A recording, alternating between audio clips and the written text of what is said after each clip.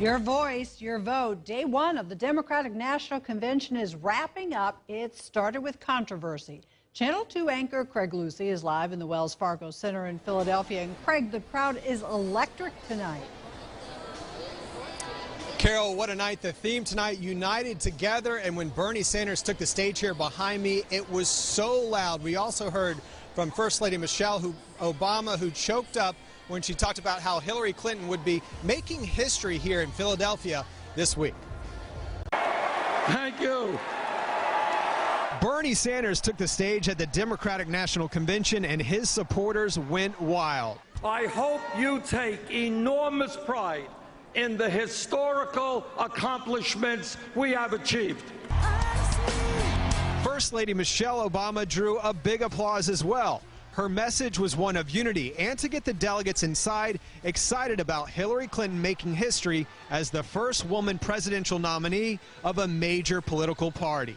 Only one person who I believe is truly qualified to be president of the United States, and that is our friend Hillary Clinton.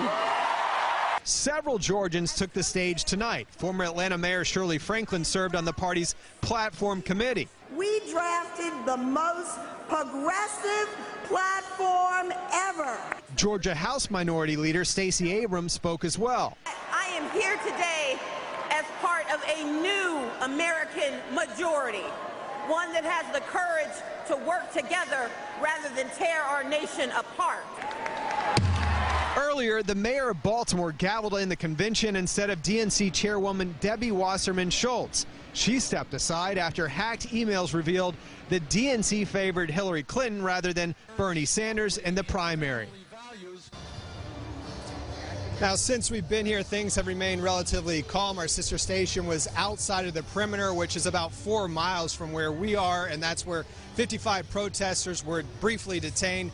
Now, day two of the DNC will begin with the Georgia delegation having breakfast. We will be there with them, and then tomorrow night, the headliner will be President Bill Clinton, who is in here in the convention tonight. We're live at the Democratic National Convention in Philadelphia. Craig Lucie, Channel 2 Action News, Night Beat.